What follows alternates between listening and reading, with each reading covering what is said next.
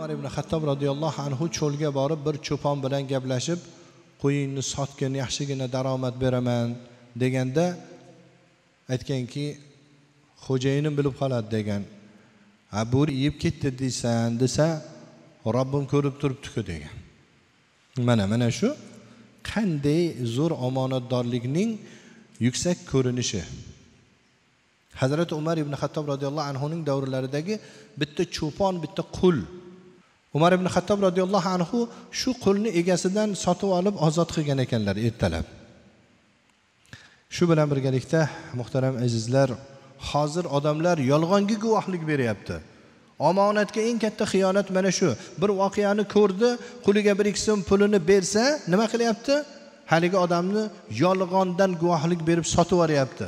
Shu bilan birgalikda muhtaram azizlar insonga bu dunyoda qanaqa bir lavozim berilsa odamlarning ustidan rahbar bo'lsa misol uchun bitta korxonada ishlaydimi bitta mahallada raislik qiladimi boshqa qiladimi nima bo'lishligidan qat'iy nazar. Eng katta omonat shuki har bir fuqaroni har bir shaxsni haqqini o'z joyida ado etishni bilish kerak. Bu so'raladigan narsa.